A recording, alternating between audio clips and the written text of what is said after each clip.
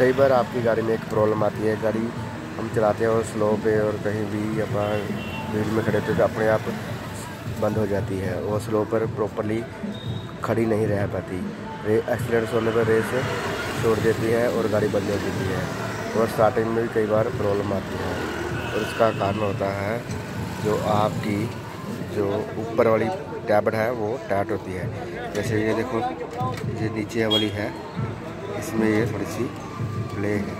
अगर ऊपर वाली टैपर में प्ले नहीं है तो ये काटना पड़ जाता है। इसको थोड़ा सा लूज़ करने, करना पड़ेगा। पॉइंट ज़ीरो पच्चीस। अगर गेज है तो उसके साथ अगर नहीं है तो अंदाजे से जैसे ये थोड़ी सी हिल रही है।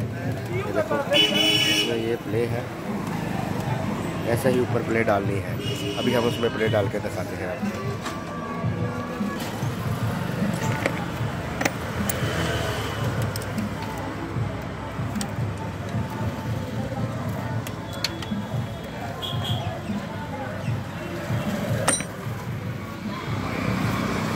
अब इसमें ये प्ले पड़ गई है। अब आपकी गाड़ी स्टार्टिंग ट्रबल भी सही करेगी और इसमें स्टार्टिंग होने में कोई दिक्कत नहीं आएगी और जो आपकी स्लो में गाड़ी बंद हो रही है, वो भी सही होगी। और एक बात और अगर ये टैबलेट आया तो एवरेज भी कम होती है। भाई आपकी एवरेज भी सही होगी ओके थैंक यू